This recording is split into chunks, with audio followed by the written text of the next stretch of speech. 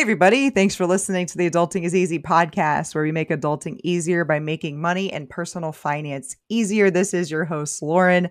And please take a second and follow this podcast or subscribe to it on YouTube.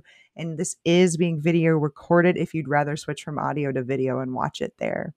I'm joined today by Lawrence Briggs, AKA College Boy. He's a real estate investor and financial literacy nerd with style from New Orleans. He shares tips and tools to help you turn earned income from a nine to five job into passive income to achieve the lifestyle you desire. Thanks for joining me, Lawrence. Thank you for having me, Lauren. I'm so excited for this interview. Me too. Me too. I do want to let everybody know that this episode is brought to you by Steadily Insurance. Steadily covers so many different kinds of properties single family, multifamily, vacant, restorations, apartment buildings, condos, and even manufactured homes, which here in Florida is pretty difficult to find. Get this, they also cover Airbnbs and VRBOs. If you rent property to others, support this podcast by clicking the link in the show notes and getting a quote. Our goal for today, as always, is to make adulting easier for listeners by discussing a personal finance topic, since managing money is a huge part of adulting. So, today, Lawrence, you and I are going to talk about your journey from living in poverty to becoming a landlord. Uh, can you start by telling us what it was like growing up in New Orleans, though? Oh, wow. So, um, you know, most people love New Orleans because of the, you know, glitz and glamour like of Mardi Gras and all of the conferences that are held there and, you know, different events. Um, but most people um, in certain areas of New Orleans live in poverty. And um, for me, I was raised by a single mother um, who worked pretty much almost three jobs. Um, her life afforded her a high school um, up until ninth grade education. She pretty much had to drop out of high school and started to uh, raise my siblings. I'm one of seven. I have six sisters. Yeah, I'm one of seven. I have six sisters, and I'm the sixth of the seventh. So I guess I'm like a all around triple special person. um, but growing up in the projects and in poverty, I was surprised that I was in poverty. And what I always tell people about that is mindset is everything. And so, what my mother did with me and my sisters is that she gave us exposure. So, even though we were physically in poverty, living in the housing projects, she mentally had us outside of that. So, I always tell people I was raised in the projects, but I wasn't raised to be project. I don't have a project mentality. I don't have a woe me mentality. I don't have a this is going to be the end all and be all of my life. My mother always instilled instilled in me when I was younger that I can do anything in life and that anything was possible. So, um, of course, there was crime um, around. There were drugs around um, you know, I remember, um, you know, hearing gunshots all throughout the night. Um, I remember, you know, witnessing all types of, you know, violent crimes, whether it was fights outside um, or, or just other criminal activity. But what my mother did was, as a janitor in hospitals, she took money from her income to put me into private schools. So I did not attend the local housing projects poverty based schools. And unfortunately you know those schools um, usually have a low success rate with education um, and my mother it was another opportunity for her to get my mind outside of my physical being if that made sense. So i was one of the few children and the housing projects that would get bust from poverty into the suburbs, where I attended um, a from pretty much nursery nursery to kindergarten to primary edu- education. I was going to school with children who parents were doctors and lawyers, uh, business owners, and of course, I received a great education um, unfortunately, there were not many people that looked like me. Um, I remember from pre-K to like sixth grade, I was like the only African American male, African American in the school, and so um, you know, my mother, um, you know, told me that there may not be people that look like me, but they're not better than you, and you're not better than them. So I'm glad that she also gave me um, an opportunity to be exposed to a diverse uh, environment. And one thing that stuck out to me was being around these children. Um, they had two parents. Um, they had a car. You know, besides me being having a private van service, we were on the bus. Um, and whenever I attended their parties, they were mostly at houses in suburbs. And as a child, uh, my mind associated living in a home as a ultimate better life. Um, and of course, we know that things can happen bad in suburbs and, and, and stuff of that nature. But my little mind told me I have to get to that. I have to not be in this environment called the housing projects. And so that's what sparked my interest in wanting to be in real estate because I seen that quote unquote American dream of the you know nice house and the white picket fence. Um, and yeah, that's pretty much how my journey started of being a poverty kid um, who knew that, that that there were that there was more outside of my physical um, environment. So, what an amazing story. Thank you for sharing that. Your mom is must be one of the strongest people I've ever heard of and she's so smart and she loves you so much and she sacrificed so much. What an incredible story. How did you think that you were going to get then from the projects to one of those houses with the white picket fence, you know, achieving that American, quote unquote, American dream of home ownership. When you were younger, how did you think you were going to get from point A to point B? Um, so for me, I knew that it was kind of associated with education. And I know now, you know, you don't have to, you know, you definitely don't have to go to college to be a landlord or, and, you know, be in real estate. But everything revolved around education. I felt like education was my escape and so um, my mother eventually moved us out of the projects, but we, you know, my mother was never a homeowner. She, we kind of, you know, rented apartments and houses, and sometimes landlords were, you know, discriminate against her because she had kids, and you know, we.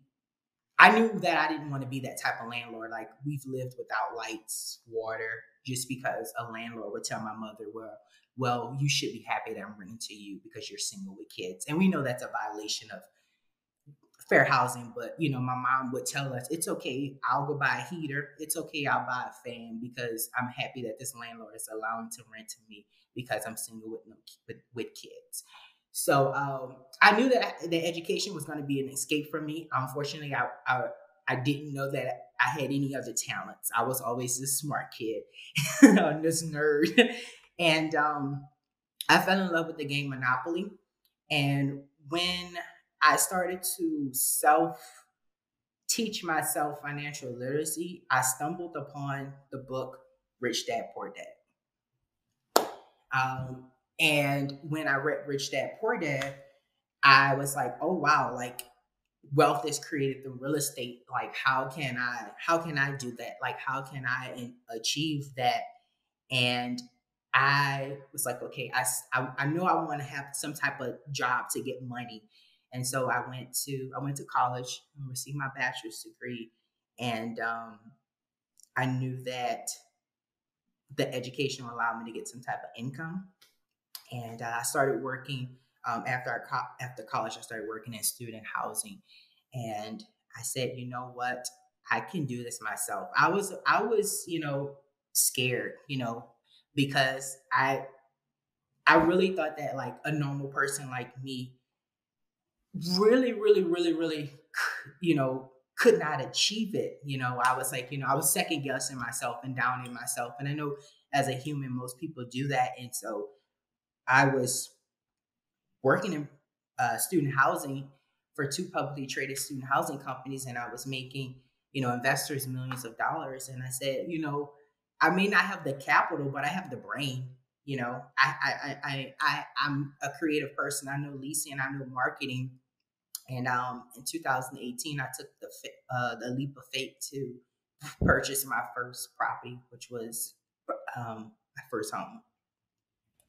So you went from as a child as a child you saw homes as this symbol of success and and you knew you wanted that and it was this job out of school then that made you think I want more than just one home. I want to also rent to other people and be a landlord and be a good landlord to others. Yes. Yes. Um because you know, I always tell people you really can't just gain wealth through just a, a nine to five if you're not utilizing that money and, and putting it into something else. And so um, when I was working in student housing, I was like, well, not only can I like own my own home, but I can I can be a I can be a landlord. You know, I can I can do this. And of course, there were different you know um, podcasts that I stumbled upon and just research of certain things. Um, and I was like, I can do this. And I took that leap of faith and um, I never looked back. And it all stems on generational wealth. Um, I want to be able to pass down something um, to generations beyond me. And um, I, I, do not fault um, or feel that my mother lacked at all because what she gave me is way beyond any trust fund left. She gave me faith. She gave me a hard work ethic. She gave me the art of being confident, of being fearless, and that is priceless. She gave me a why. And I always tell people, you know, I am not no longer in shame nor embarrassed of where I'm where I've come from because it has acted as a catalyst to where I'm going. It's the fuel. Um, so I know that with generational wealth, most millionaires are created through real estate. And it's not just really one property. So I said, if I want to take what my mother gave me because she gave me a place to stay, and like I said, she loved me unconditionally. If I can take the morals that she gave me and the wealth that I build to my next generation, then it will be a full circle moment. I and love I, that. And I know that I've, I've, i would have lived on, on earth and served my purpose. That's amazing. So when you bought your house in 2018, that's your primary residence, right? Can you tell us kind of what that cost, what the down payment was, and how of you course. saved for that? Okay, yeah, of course. Uh, so in 20, um, I kind of started uh, looking um, at the beginning of 20, um, 2018. Um, I told myself I was not going to renew my lease. I didn't tell my apartment complex that though. And so I was like, I'm not going to renew my lease. And I just started looking online at properties, and um, I was residing in the Austin area, um, and it was starting to get expensive as far as like uh, apartments.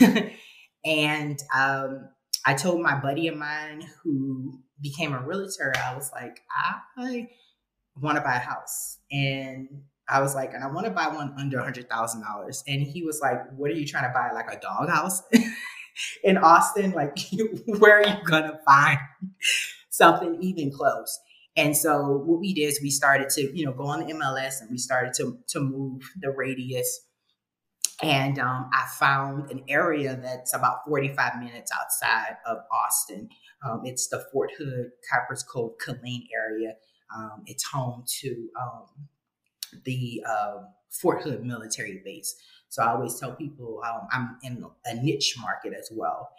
And um, that property and again, if everyone is listening, it's just 2018 numbers. that property was on the market for about 150 days. Nothing was wrong with it. No, absolutely, it was turnkey ready. Um, I purchased that property for $68,000. Three bedroom, one bath, single family home with a garage, um, about a close to 1,100 square feet living space, um, about almost 10 or a little over 10,000 square foot of a yard. And I received a seller's, a seller's concession um, up to about 3% down, um, down towards my closing costs. Um, out of pocket with closing costs and down payment, I think it was roughly around six grand. Um, I was able to use the Freddie Mac Home Possible loan. So I only put down 3% um, because of my income. And so I was super excited because I was like, oh, wow, like I can get something for 3% down. And then the seller is giving me 3% out. And I, I, I took a leap of faith. I actually had um, cashed out of one of my little baby retirement funds because I'm like, it's making pennies on the dollar. Like, let me just go in. I feel like this house is for me. So I bought that house. I closed November. I closed on that house November 5th of 2018. So um, it's about to be four years. Um, this house is now worth $170,000 in less than, yeah. So it doubled in, it doubled in value. What, um, so, what's the payment? What's the payment on that? Yeah. So right now the payment on the interest rate was 5.25%. Um, so I always tell people, you know, everyone was saying not to buy in 2018. They were saying houses were too expensive. They were like, there's no way I would pay $68,000 for that house. There's no way you should pay 5.25%. Um, all in with principal, interest, um, property taxes, and insurance. My payment is $622. What was your rent then when you were living in or really close to Austin? Uh, so I always tell people because I did leasing and marketing, I, I used to negotiate my rent and I never paid market. I never paid market rent. Um, but I, I never, I, I think I'm, I'm never paid market rent. And I also keep my rent, um, a little bit below, below market rate, um, just to try to have some afford- affordability. Um, so I had a one bedroom, 450 square feet, um, one bedroom apartment in North Austin that was in a very sketch area. The rent on that it was very, very extremely sketch. Um, the rent on that now water was allocated um, into it. It was seven fifty, but my okay. rent was going up to like nine ninety five. Wow. Okay. So that's that's really that's fascinating. And I know that this was 2018, but there are some themes with you buying your first house that are still valid today. You can still put 3% down on your first primary home. You can still look 45 minutes to an hour outside of your core area and see if there are more affordable areas. And you can still ask for sellers concessions, especially now, actually, that the it's more of a buyer's market than a seller's market like it's been the last few years. So I want people to take those themes away and that was a similar thing when I bought my first house. I think the rent I was looking at for an apartment was like 800 bucks and then I ran the mat ran the numbers and the payment on a house which was much bigger where I could get a roommate was like 725. So, you know, that that can be done and I think some of those things can still be done now. Do you still live there or did you move to another one and then rent that one out? No, I'm still here. This this is where I'm at right now in my home, in my home office. Um, my original goal, um, because I'm single with no kids right now, um, was to just own and occupy a house every year and move. I was like, I'm yep. just gonna do that. Yep. And um, so again, my timeline, you know, I closed November of 2018. So within less than 60 days, we're in 2019. So my goal was at the end of 2019 to go in 2020, move out and buy another one. But we all yeah. know what happened towards the end of 2019. Yeah. And I was like, wait, so the property that I bought in 2018 was 68, but now it's at the lowest 150. Like, ah. and um, I started to run the numbers, and it was better for me to hold this because I have I, am able to have like an equity p- piggy bank. So it was better for me to stay in this current property with a, a great equity piggy bank that I can use and deploy for other deals and just um, buy investment properties um, without owner owner without owner occupying until it makes sense um, financially. Got it. So are you doing that through a home equity line of credit, second mortgage, cash out refi? What did you do? So, um, so I recently uh, purchased two rental properties um, within six months. One was February of 2022, and one was um, end of uh, July of 2022. Um, so the first one, I was all in with my own money. Um, doing 2020, which we know what happened. Um, I was working a um, a side job. I was doing food delivery, and I did that after work, and I did that on weekends. And within a year, part time, I had saved up close to twenty thousand dollars. Wow, doing that. Yeah. So you know, I always tell people I worked. You know, you you when you have a strong why, you'll get out and do it. Uh, I'm talking literally getting off work. You know, at five six o'clock working to 9, 10, 11, doing 16 hours on weekends from like 7 a.m. to like 8 p.m. Um, wow. So I ended, no, so I ended 2020 with about 20 grand of, of doing food deliveries of disposable um, income, you know, just extra income. And so I was like, okay, well, I don't want my money just sitting in the bank. I should just get a, uh, a rental property. And so what I did was um, I fell into an opportunity that I bought a two bedroom, one bath property in February um, with 15% down, not owner occupied, single family home. Um, I was all in with down payment and closing costs around 16 grand. Wow. Um, nice. So that, yeah, it was very, very nice. And so I was like, okay, great. I know it, it very was. I'm like, okay, one property a year, that's great. Well, that was February. Fast forward to around July, um, through networking, which is very important as an investor, um, I yeah. fell into another opportunity uh, where an investor was deloading um, properties, and um, the numbers work. And um, I always tell people everyone's risk tolerance is different. You know, everyone's risk level True. is different, and you know a unpopular opinion is that personal finance is personal to the person. So this deal came around and I was like, okay, well, I, I, I, have the money, you know, I can, you know, do that, but I want a higher cash reserves.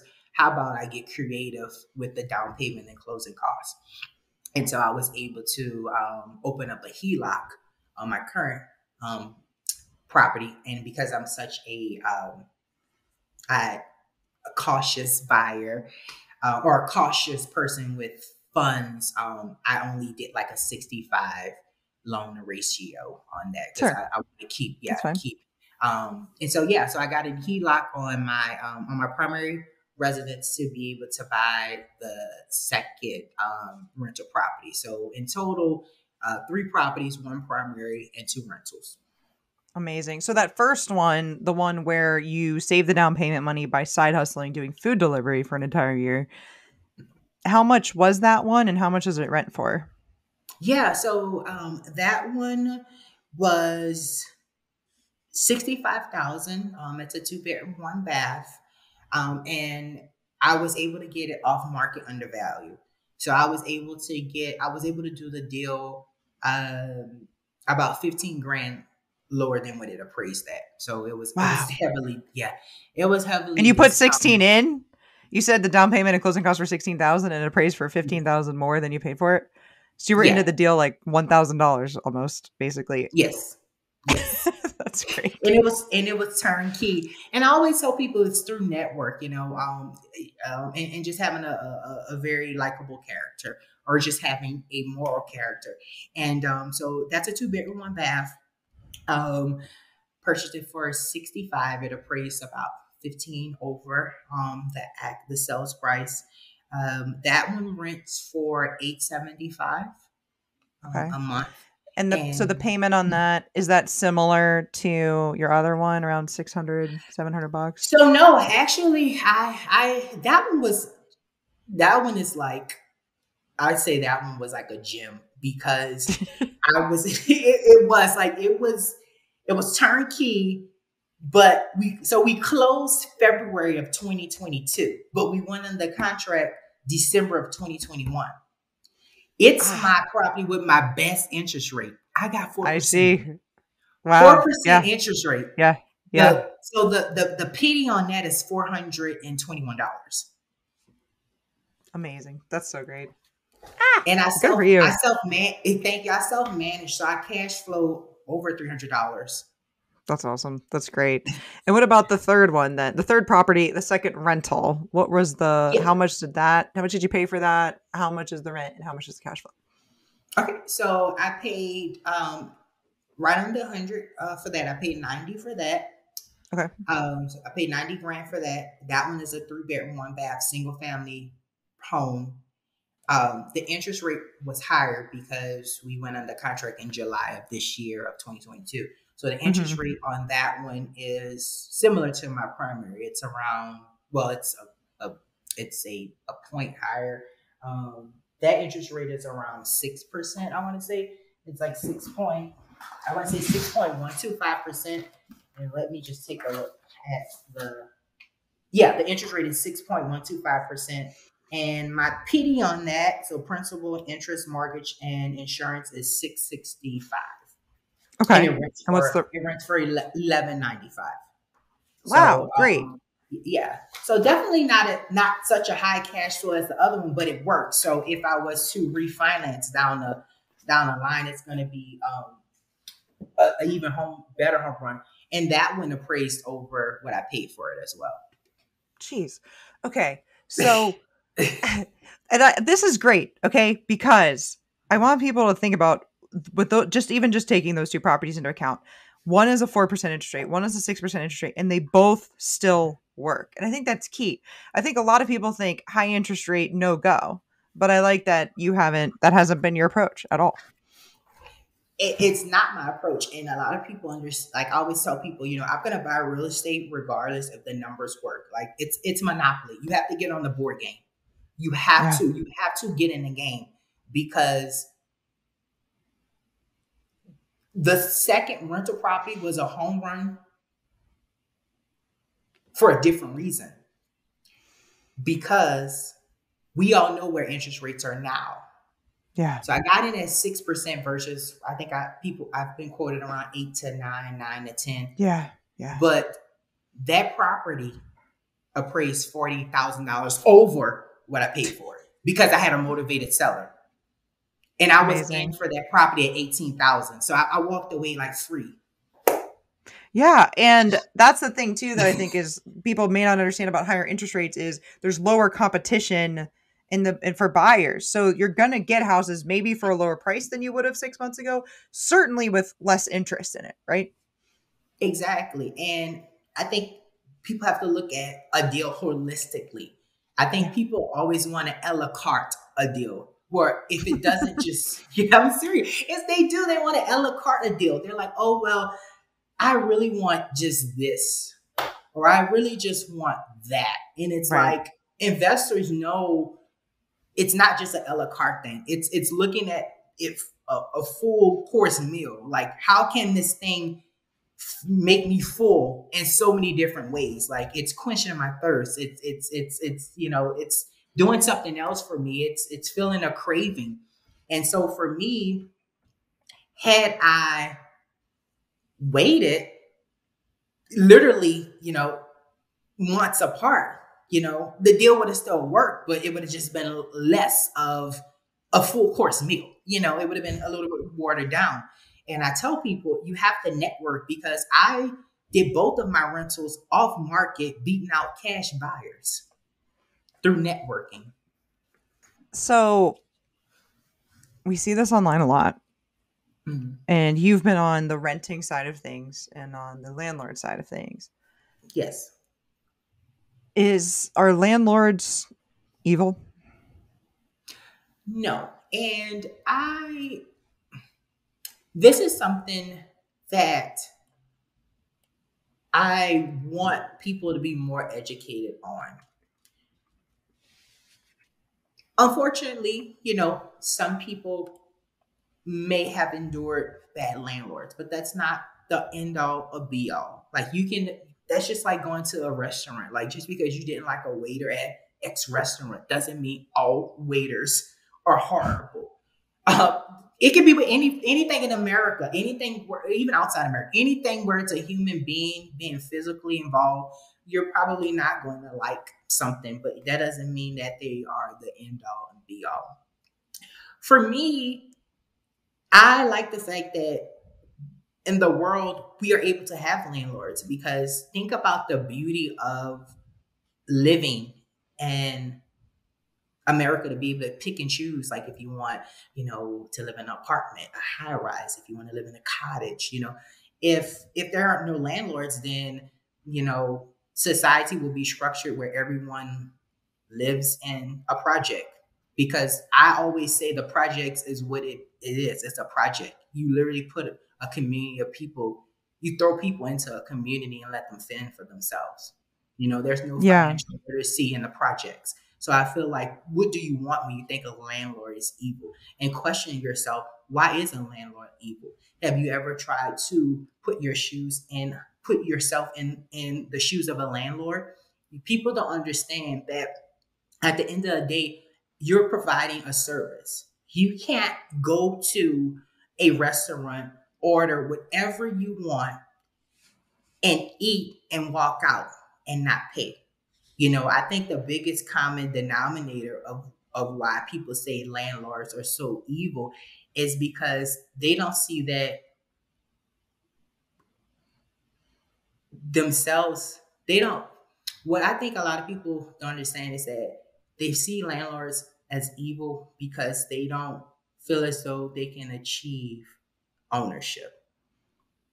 Yeah. right. And this to, other person did, right? They're it's this it's this thing where that person has something that I don't have. I don't have a strong why or I don't think that I can do that, therefore I don't like that person. I, I always just wonder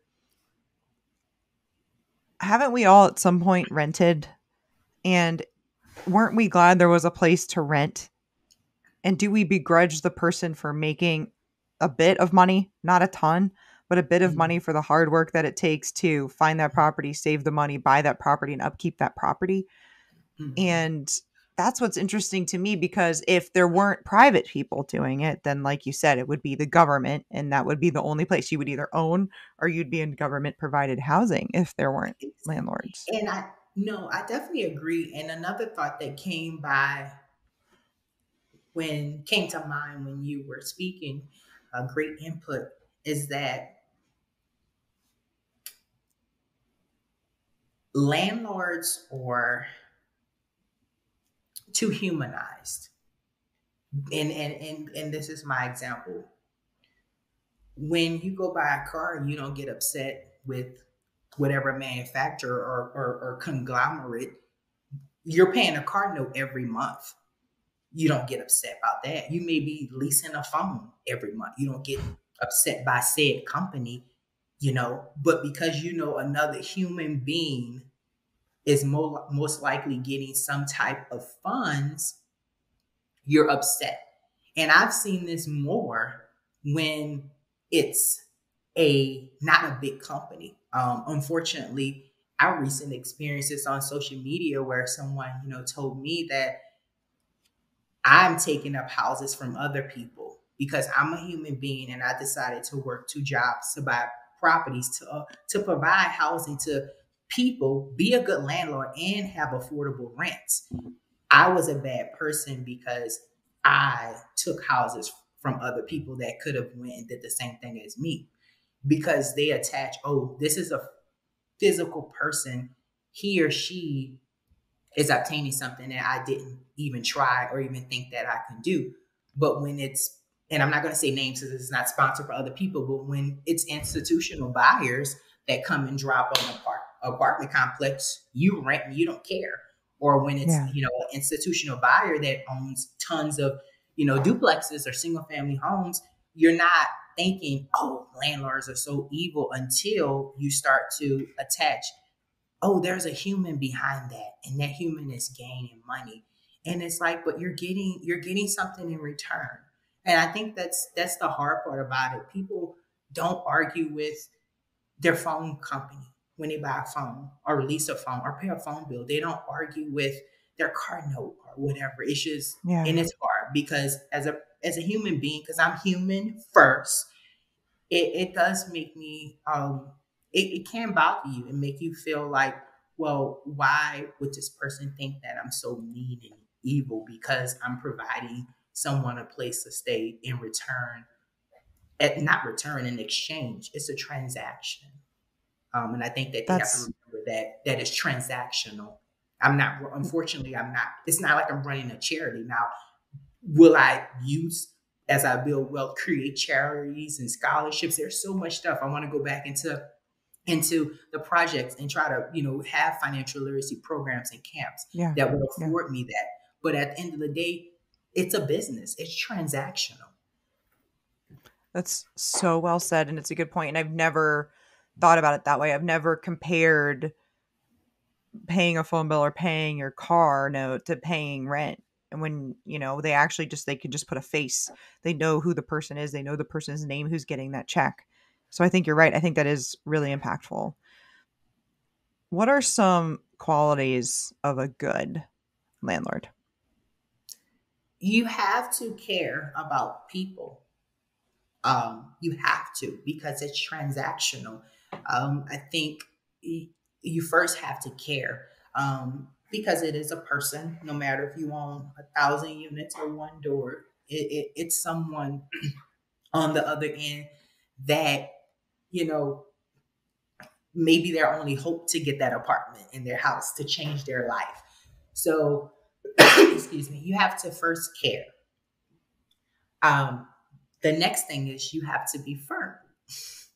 Yeah. You have to be able to stand um, stand firm in your policies and procedures. Yep. You can't be fluid with that.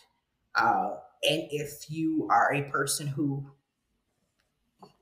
don't think that you're capable of doing it, then you shouldn't self manage. I'm not saying don't buy, but that's where prof- other professionals would come in. Yeah. But you have to yeah.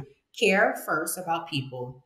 Um, second, you have to be firm, stand firm um, in your policies and procedures.